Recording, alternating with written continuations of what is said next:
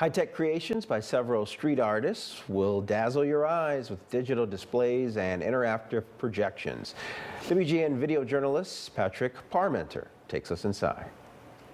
It's art meets technology meets immersion. My name is uh, Dom Brown. Here, let's pull this out. Artopia is the brainchild of uh, my company Superfruit.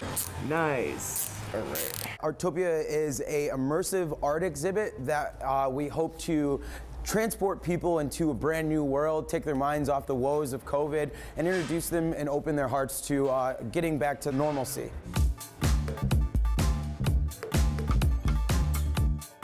We've got some really cool artists. We've got a digital artist all the way from Portugal. Basically, uh, we have a setup here with uh, mirrors and two LED walls. Uh, as I speak, as you can see, the, the visuals are actually adapting to my voice. You have the Van Gogh experience, you have the uh, 29 rooms and things like that. All of those experiences are produced by corporate companies or larger entities. This is for artists by artists for the community.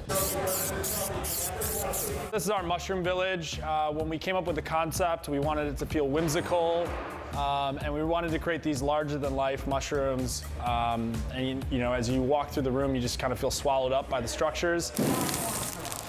As we were designing this room, we really wanted our guests to feel like they're immersed in like a jungle environment, uh, really lush spring vibes. We are standing inside of Jeremy Steffen's creation. It's kind of a Tulum-inspired uh, jungle deity, uh, and he actually made this over the course of like a week and a half. We really uh, designed it uh, trying to draw people in. Uh, this is one of the most impactful areas. We're ecstatic to welcome Chicago into the space. We already know that Chicago is rich with culture, music, uh, amazing artists, amazing people, and so we are just ready to finally let people see what we've been working on here for the last month and a half.